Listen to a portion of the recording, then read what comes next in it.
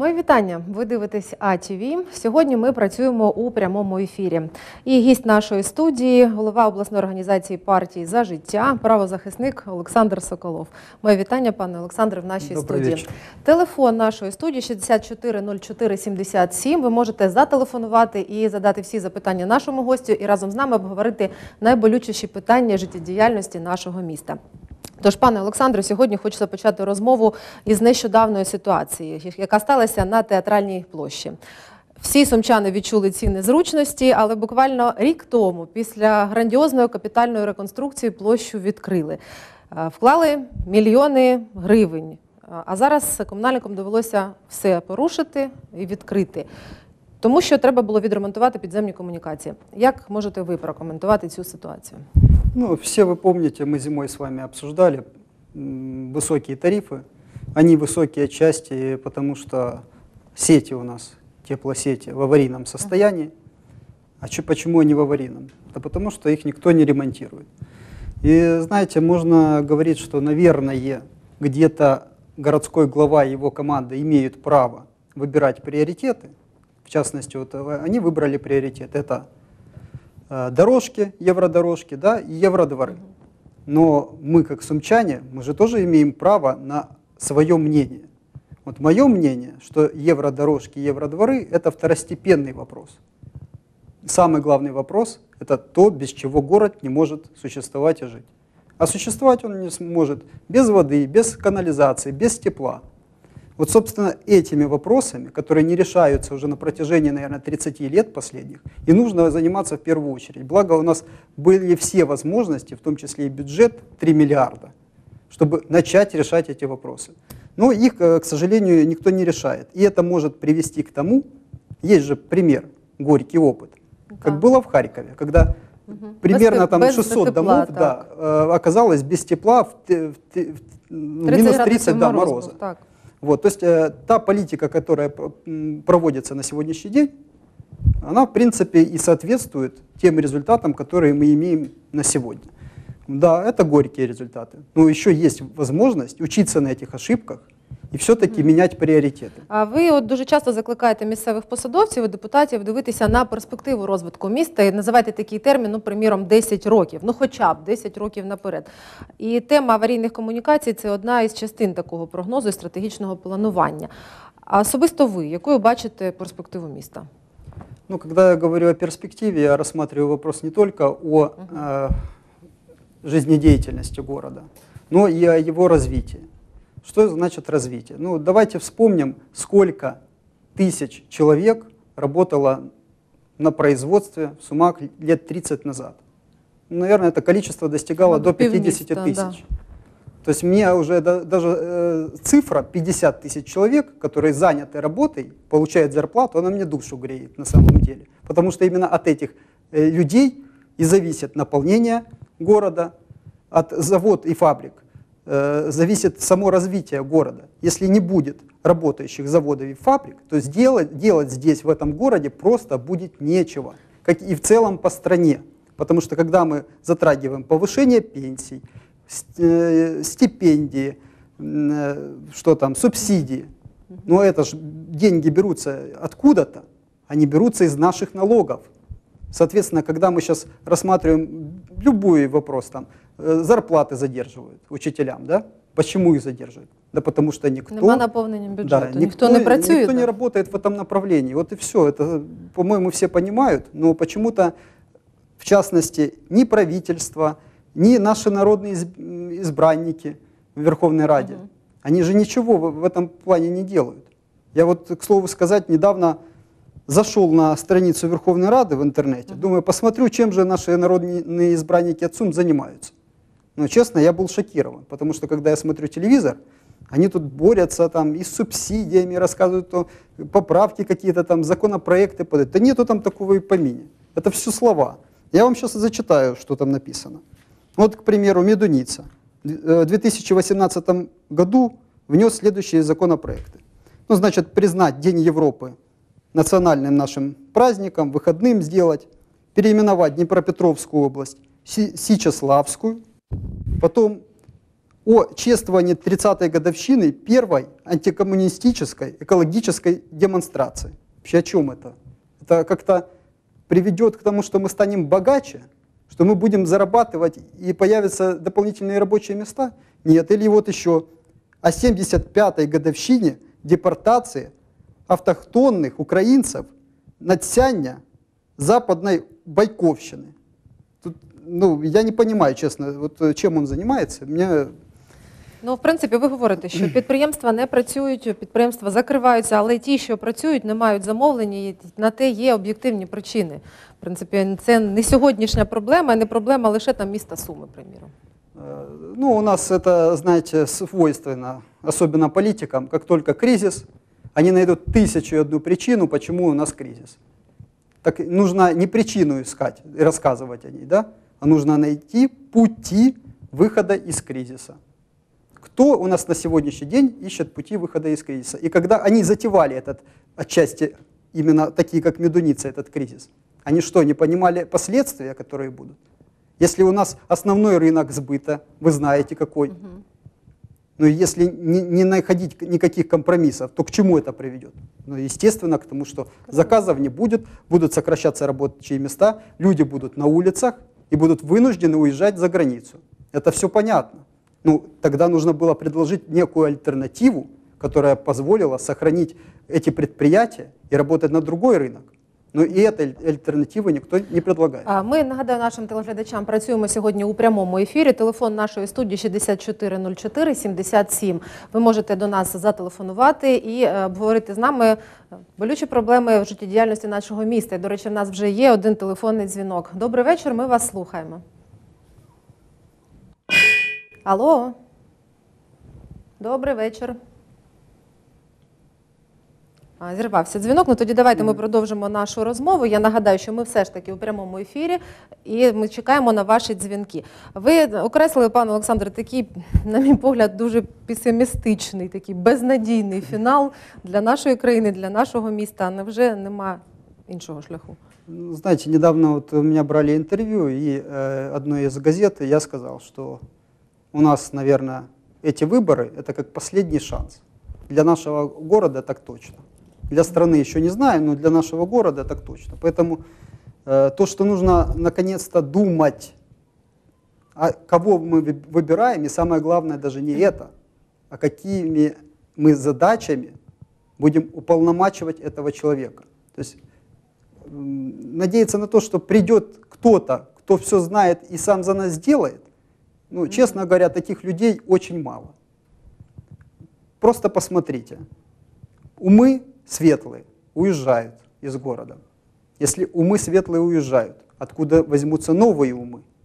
Ну, наверное, их нужно воспитать, научить, опыт получить, дать им, да? А это все время, это десятилетия. Поэтому я и всегда и говорю, что это перспектива некая на ближайшие 5-10 лет.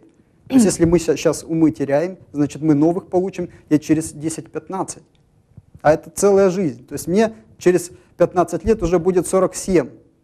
То есть вся моя молодость, уже и трудоспособные годы пройдут, и вот таких молодых людей очень много.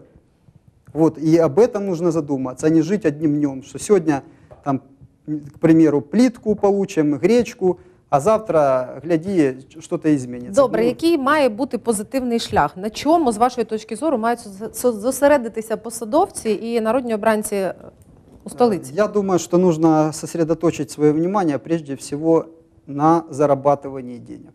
То есть все, чем сейчас должны заниматься все чиновники, народные депутаты, оно все должно сводиться к тому, что каждую гривну мы должны принести в бюджет, в каждый карман наших украинцев.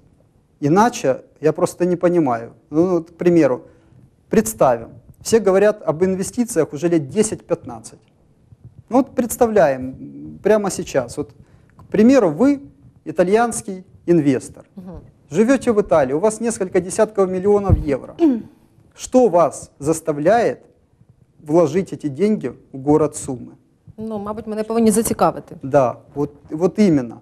А кто вообще э, сейчас этим занимается? Чем можно вас заинтересовать? Ну, наверное, вы в первую очередь будете смотреть на налоговые, валютные, э, таможенные льготы.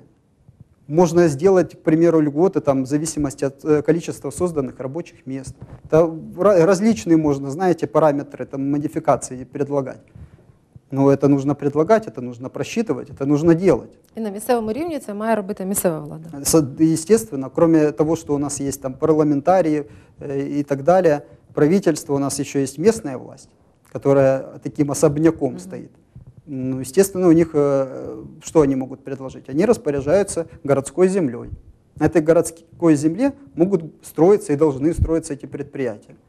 Соответственно, э, когда мы говорим о строительстве предприятий, мы должны понимать, что должны быть и коммуникации. Я думаю, каждый рядовой украинец, который бывал э, в стенах монополистов наших, облэнерго, облгазы, они понимают, что это такое. А теперь представьте, когда туда приходит представитель бизнеса, у которого есть много миллионов. Как ему сложно?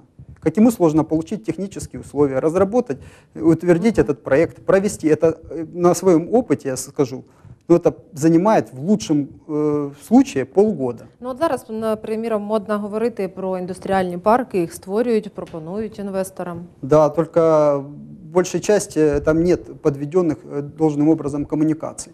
Ну, мы говорим не о 10 киловаттах электрической энергии для крупного предприятия, правильно? То есть это должны быть серьезные мощности, это должно быть уже как под ключ. То есть мы говорим, вот у вас такая-то мощность электричества, все, просто берите и стройте на этом месте предприятия, чтобы у инвестора не болела голова. Дальше, безопасность, безопасность бизнеса. Ну, то, что у нас постоянно говорят э, о нападках э, со стороны налоговых органов и так далее, ну, это я опускаю, это уже даже не актуально на сегодняшний день, это у на- у нас уже, знаете, как привычное состояние. Но у нас же новый вид э, нападок появился. Это когда под видом активистов, псевдопатриотов, э, с- там, прикрываясь революционной целесообразностью, блокируется работа банков, заводов, предприятий. Ну и чем это заканчивается? Заканчивается тем, что они не- вовремя не выполняют определенные задачи и увольняют весь персонал, все закрывается. Люди снова на улице, вынуждены искать э, работу за границей, не здесь, ее здесь нету, за границей вынуждены искать. И вот э, и все. Ну, к слову сказать, мне вот очень импонирует э, законопроект Евгения Мураева по поводу создания такого омбудсмена э, по инвестициям. Мгм. Это когда э, будет некий ставленник от государства или не обязательно от государства, который э, имеет широкие полномочия в решении вопросов между и- инвестором и властью. То Пане есть, чтобы не Олександре, у затягивать. нас є да. телефонний дзвінок. Давайте послухаємо наших глядачів. Добрий вечір. А, Добрий вечір. Будь ласка, представтеся і ваше запитання до нашого гостя студії. Е, Мене звуть Сергій. Мене цікавить таке питання, чому при нинішньому е, такому бардакі і в державі, і в місті ніхто не відповідає. Нема, ніхто не несе відповідальності. Очень хороший вопрос. Дуже влучний, да, Да. до речі. Ну вот э, смотрите, даже давайте разберем это на примере. Вот пример яркий, наверное, по маршруткам будет. Вот э, последнее время, ну я понимаю, что это в какой-то степени провокаторы закидывают удочку, мол, э, что там у тебя с судами по маршруткам? А то ты э, борешься, борешься, а уже стоимость 5 гривен. Ну давайте разберемся, откуда же она Мгм. берется и почему она берется, и возможно ли эту ситуацию изменить. Ну хорошо, вот э, год назад, в мае месяце, подняли с трех до четырех. Мы обратились в суд, мы обжаловали эти решения. Власть собирается на следующий день, принимает снова слово в слово аналогичное решение и ставит просто новую дату, 18 июля. Мы снова обращаемся в суд, снова ходим, они снова собираются. И мы, как, знаете, как э, в какие-то латки играем. Ну, якщо я не помиляюся, то в Європі посадовці якось вибачаються перед громадою, якщо вони щось не роблять не на її користь, а навіть і кошти сплачують. Ну, нам до Европы, как видите, далеко, хотя мы со своей стороны поступаем честно. То есть, э, если они нарушают, мы обращаемся в суд, восстанавливаем справедливость. И, казалось бы, что должны делать чиновники? Они должны исполнить решение суда. Это в лучшем случае. По-хорошему в Европе вообще сразу берут, пишут заявление и увольняются. Но должна, я уже, знаете, долго думал, как же эту ситуацию исправить. Должна быть ответственность, закрепленная И на покарание. законодательном уровне, да, в виде, допустим, штрафа. То есть, если решение чиновника, если решение э, членов исполкома признано в судебном порядке незаконным, значит, каждый должен заплатить из них, начиная там, к примеру, от 20 тысяч гривен. Я думаю, когда будет система таких штрафов за принятие незаконных решений, то они будут все до запятой выверять. А ви з сегодня такою, нету з такого. такою ініціативою виходили до наших народних депутатів, Виходив. представників Сумщини? Да, выходил. Ну, Говорю, Медунице, э, да меня не надо, говорю, критиковать. Я не народный депутат, я вообще не, в принципе не депутат. Я обычный житель города, который хочу жить в нормальном городе и стране. Напишите законопроект, подготовьте. Он говорит, сам пиши. Ну так а зачем мне тогда такой народный депутат, если сам пиши? Ну я напишу. Пусть Я- освобождает место, я приду, напишу.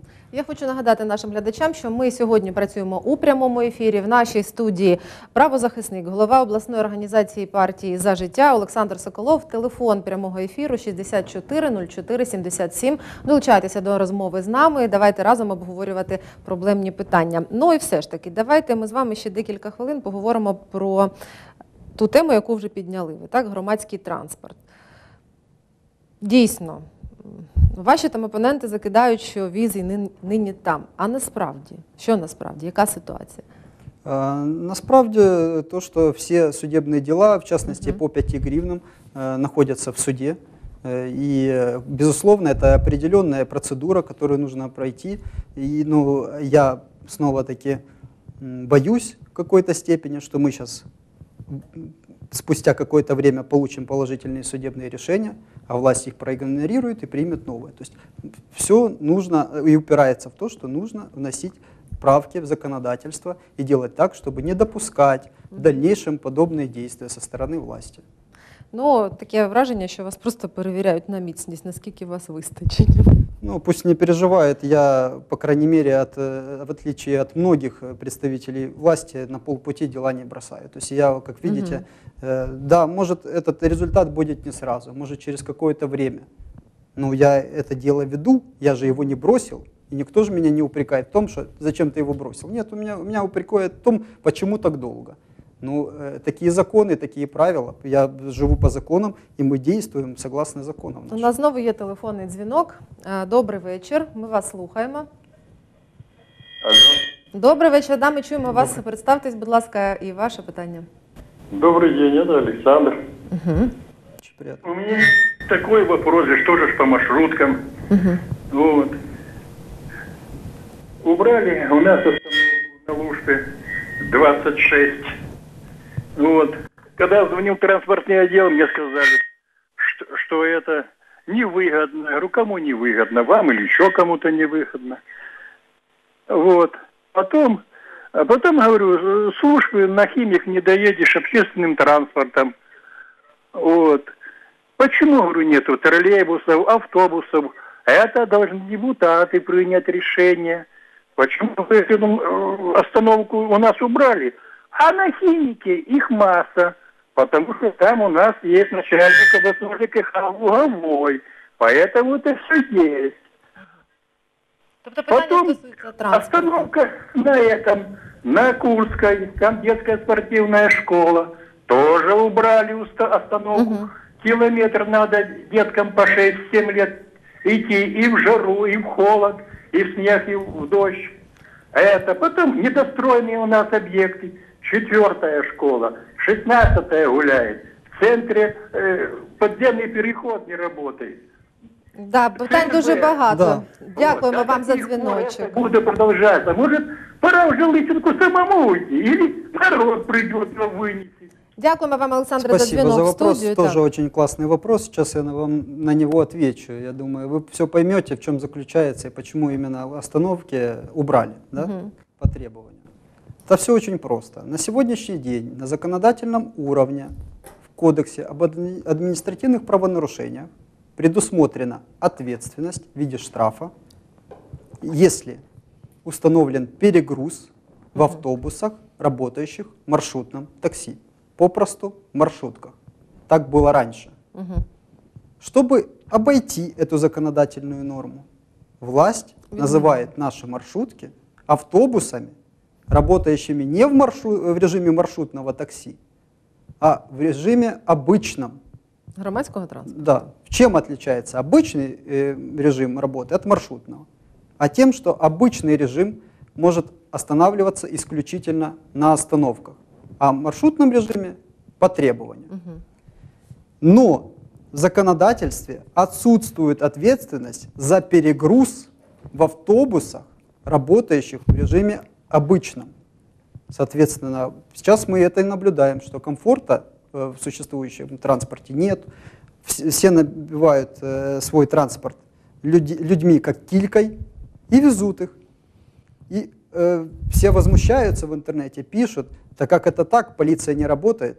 А как, что может сделать полиция, если на законодательном не уровне просто из-за того, что наши народные избранники, которые это тоже видят, не могут прописать строчку. И ответственность э, э, должна быть для автобусов, работающих в обычном режиме. И все, и сразу э, ну, появится полномочия у полиции штрафовать. Ну, то, что транспорта мало, это отдельная история. Кто это контролирует? Это должен контролировать отдел транспорта. Если устанавливается факт нарушения договорных отношений, то есть на маршруте ездит меньшее количество, не в те интервалы предусмотрены, то они должны выносить проект решения на исполком и разрывать с таким перевозчиком договора. А потом пусть перевозчик ходит, доказывает в суде. Тобто все в межах відповідальності міської влади. Безусловно, то есть э, е- было бы желание, этот вопрос ре- можно решить э, в течение месяца. Я нагадаю знову ж таки нашим глядачам, ми в прямому ефірі. Телефонуйте, долучайтеся до нашої розмови з правозахисником, головою обласної організації партії за життя Олександром Соколовим. Пане Олександре, ну от ви зараз говорите про те, що ви там відстоюєте інтереси громади, подаєте якісь позови до суду. Ну, комусь здається, що ну нічого такого особливого ви не робите. Ну, э, это, наверное, да, может показаться тем, кто не ходил по судам и не писал документы. На самом деле это очень э, творческий, кропотливый труд.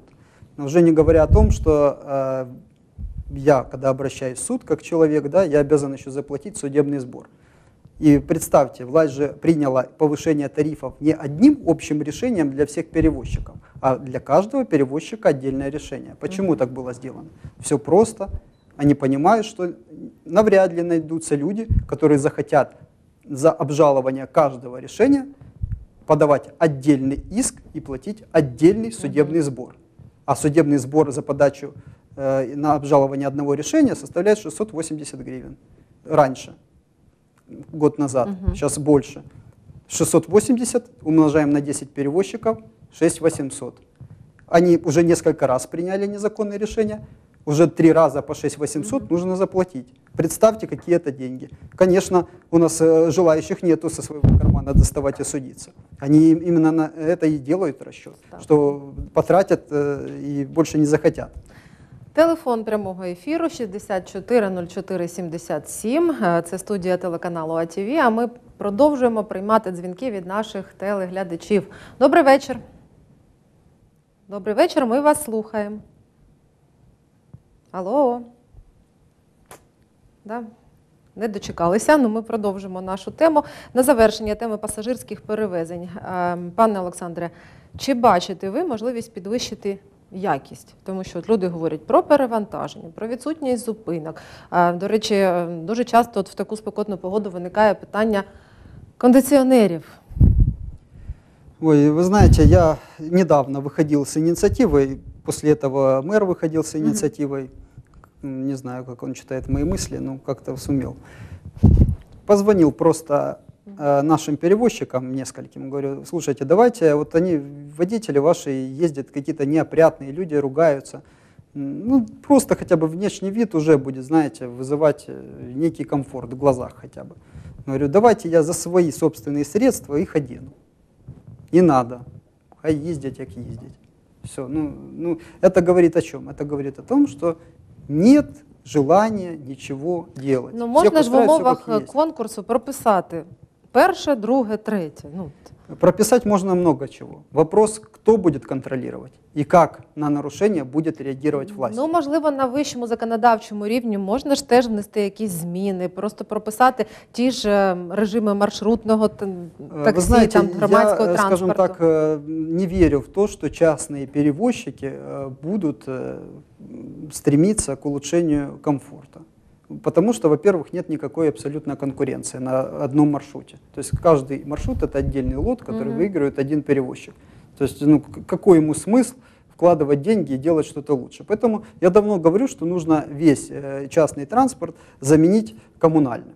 И вопрос решится. Он хорошие троллейбусы покупает, автобусы, пожалуйста, купите, ездите. Это, да, это стратегический вопрос. Да, он требует э, серьезных э, за- затрат денег. Ну, можна ж Олександре, постепенно ну, це ну, от делать. все ж таки, от е, люди мають робити висновки. Чому е, з року в рік от ці питання, про які ми говоримо, там комунальне господарство, транспорт, ну далі можна говорити медицина, там освіта. Ну чому стає гірше? Які Вы знаете, висновки? Про э, що? Я об этом э, вопросе задумываюсь, наверное, каждый день, когда ложусь спать. Перед сном, да? Мгм. Думаю, ну когда, когда На сон уже, да, грядущий. что же, что же нужно сделать? Ну и э, отчасти э, понял, что, э, безусловно, так будет продолжаться всегда до тех пор, пока люди будут выбирать политические бренды, логотипы, как угодно. Одним словом, политические партии. Нужно Мгм. выбирать не политический бренд, а людей, которые стоят за этим политическим брендом. А получается так, что выбирают бренд, и потом люди разочаровываются, говорят, ну, снова обманули. Так, конечно, обманули. Вы же не знаете, кто по- под этим брендом идет э, в горсовет. Ну вот, к примеру, я, я честно скажу, вот первую попавшуюся партию беру. Вот, допустим, Гриценко. Ну, вроде рейтинг там показывает э, хороший у человека, да? Но я честно вам скажу, я не знаю, кто представляет Гриценко в Сумах. Где эти люди, я их не видел. А они пойдут на выборы. И голосуя за этот бренд, вы должны знать, кто под этим брендом пройдет. Потому что от их решений будет зависеть э, жизнедеятельность города. То же самое и по остальным партиям. И Ляшко и так далее. Я не знаю этих людей. Я не помню, кто там. Вот, поэтому прежде всего нужно делать ставку на людей, чтобы вы, видели. Вот раньше система меня вполне устраивала, мажоритарщики. Мгм. То есть все видят, кто проходит, как проходит, а могут его оценить деятельность на протяжении нескольких лет. Но сейчас такого нету. И, кстати, кроме этого еще существует некая политическая, скажем так, дисциплина. Да? Вот почему э, человеку по поводу маршруток сказали, ну это же надо, чтобы депутаты проголосовали. Но депутат у нас сегодня, на сегодняшний день в горсовете это не самостоятельное лицо. Мгм. То есть у них там есть политические партии, и кто как командует, так все и голосуют, единогласно, по сути. То есть нету права голоса, и никто не может отделиться, да, и по- проголосовать э, вопреки всем. Ну, все ж таки, я так розумію, мають бути якісь критерії, да, за якими людина може орієнтуватися, кому можна довіряти, кому ні. А то так виходить, то ви розумієте, я розумію. А посадовці і люди, які мають реально розуміти ті речі, які відбуваються, ну, до них наче не доходить.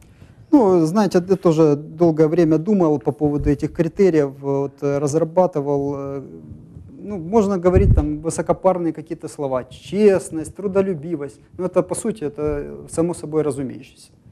То есть без этого, Мгм, без этих принципов э, дальше можно даже не идти. Ну вот какие еще можно выделить основные? Ну это профессионализм. Ну, То есть человек, да, должен, это, наверное, самый главный принцип, это на первом месте должен стоять. Человек должен э, разбираться в теме или хотя бы стремиться разобраться. Опыт работы, хорошее образование. Второй принцип – это стержень иметь, как Характер. говорится. Да, то есть, ну, представьте, если он боится произнести слово вопреки там, мэру, его заместителям или другому депутату, там, выступить со своей позиции, отстаивая интересы сумчан, ну зачем тогда он идет? То есть быть серой мышкой, сидеть и просто нажимать на кнопку, ну не знаю, зачем нам такие депутаты нужны. Ну и э, я думаю, еще такой э, принцип это, наверное, самодостаточным быть человеком. Ну вот представьте, если у человека есть проблемы, где жить, что есть, что одеть. То есть у него бы- бытовые проблемы на сегодняшний день не решены. Соответственно, когда он попадает во власть и кому-то не хватает дополнительного голоса, он приходит и говорит, вот тебе квартира, вот тебе машина, только голосуй вот так, как мы тебе скажем. Как вы думаете, человек откажется от этого? Вот, и он, что он выберет? И ваши интересы или будет э, голосовать так, как ему скажут? Ну, Я сомневаюсь, что он будет отстаивать интересы. Ні, ну, можливо, є ідейні. Э, Знаете, и этих идейных я уже насмотрелся на предыдущих выборах. Он сидят партия «Свобода», Честно говоря, ну, одному должность дали, идеи их идеи все. А рассказывают о патриотизме, бьют себя в груди. Ну і ці принципи мають е, розповсюджуватися тільки на політиків чи на всіх.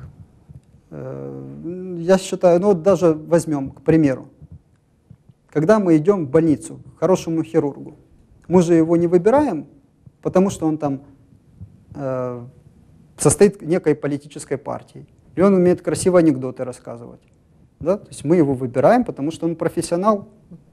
Вот э, когда мы отдаем э, своего ребенка в школу, мы же тоже на учителей смотрим. Мы же не отдадим ребенка э, учителю, который матерится.